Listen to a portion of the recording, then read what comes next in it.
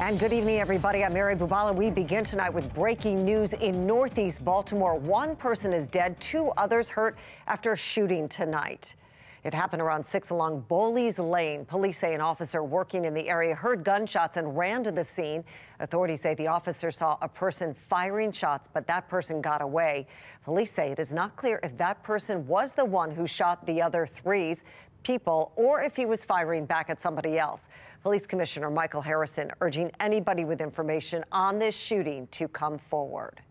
Now we have this incident where one is dead and two are injured simply because people want to solve their conflicts with gunfire. That is why it's so imperative, so important, so critical that members of this community, people who live and were out here, give us a call right away, or you can do it anonymously you can leave an anonymous tip by calling Metro Crime Stoppers, the number right there on your screen, 18667 lockup. Well, just 30 minutes after that triple shooting, another man was shot and killed along Edgewood Avenue in southwest Baltimore. At least 41 people have lost their lives to violence in Baltimore City so far this year. Well, nearly one week after a 17 year old Baltimore City student was shot and killed in Towson, he is being remembered tonight. The community gathered for a vigil in his honor.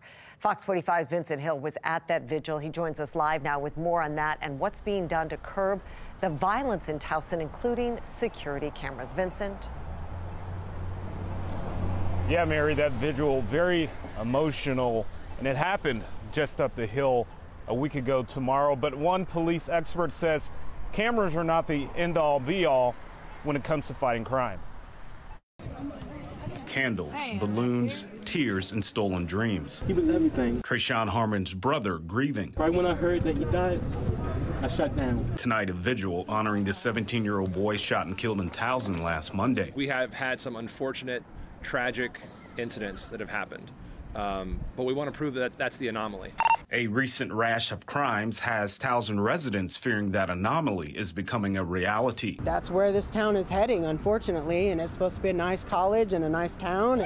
Tre'Shaun's murder last Monday, a shooting Super Bowl Sunday, several sexual assaults last month. Baltimore County Police Chief Dennis Delp says he has a plan. Using technologies um, like a license plate reader, additional cameras, um, and that they may be covert or non-covert cameras in the area to assist with um, deterrence and apprehension purposes. Part of that plan already in place, according to Nancy Hafford with the Towson Chamber of Commerce. Over the last several months, we've added 50 new cameras to 50 buildings. There's over 95% of the cameras are in over uh, and in the businesses in the Towson area. But do cameras and license plate readers work as a deterrent against crime? I don't think that's going to make people feel safe. That doesn't make me feel safe looking up and just seeing a camera. Law enforcement analyst Melissa Pinkleton says no.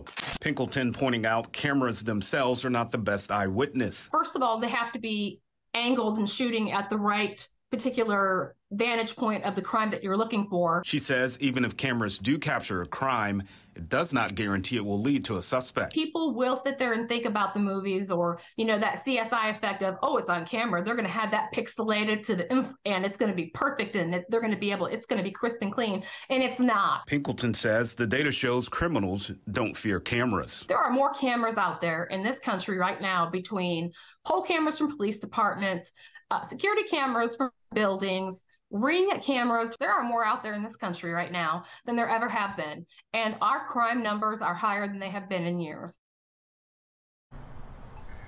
And speaking of cameras, Baltimore County Police are still searching for video to lead to Tre'Shaun's killer. Meanwhile, Pinkleton says more boots on the ground are the true deterrent to crime. According to the police union, Baltimore County Police are short 200 officers. For now, we're live in Towson. Vincent Hill, Fox 45 News. Vincent, thanks. Fox 45 News has been following the violence in Towson for weeks. You can find all of our past reporting on our website, foxbaltimore.com.